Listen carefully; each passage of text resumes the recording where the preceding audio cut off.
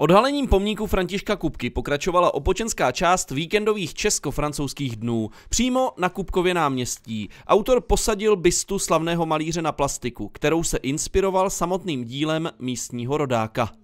Je to takové, mě ty práce, mě ta věc baví s prostorem, se světlem a ještě pro, pro toho Kupku a takový já z toho mám radost, i když bych si to představil větší. František Kupka se v Opočně narodil, mládí strávil v Dobrušce, většinu svého života ale prožil na pařížské pražském předměstí. Velmi uh, důležité to, co uh, tady uh, taky v Puto ve Francii bude stejný památník. Myslíme si, že to je důstojné místo, protože to je na hraně toho, kde se díváme právě tam, kde František Kupka potom žil a zároveň tady se narodil, takže si myslím, že to je přímo na tom správném místě.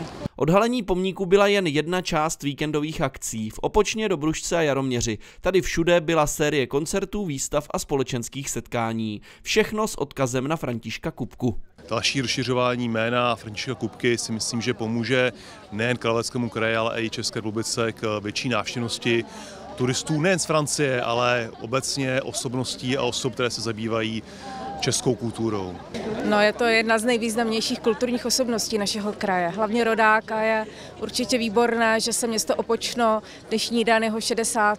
výročí úmrtí přihlásilo k jeho odkazu a odhalilo jeho bestu. S pomníkem se Kupka konečně dostává na náměstí, které nese jeho jméno. Pro Opočno je to trvalé připomenutí dost možná nejslavnějšího rodáka.